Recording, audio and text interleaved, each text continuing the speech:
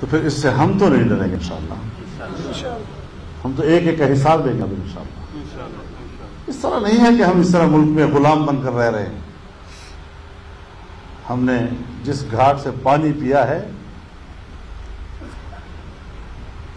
वो गुलामी को कबूल नहीं कर सकते। मैं रियासत में एक आज़ाद शहरी की हैसियत से और मोहतरम की हैसियत से ज़िंदा रहना चाहता हूँ। और बखुदा बड़े बड़े अहदों पर फायज लोग बड़े बड़े रैंकों वालों से भी अपने आप को मोहतरम समझता हूँ।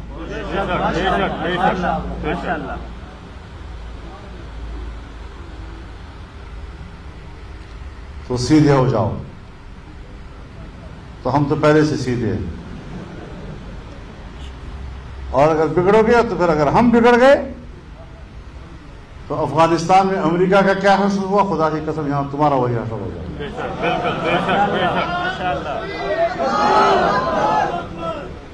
उन्होंने तो बंदूक से जंग लड़ी ना।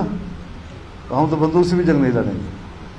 हम तो ऐसे ही तुम्हें मैदान में घसीटते चले जाएँगे।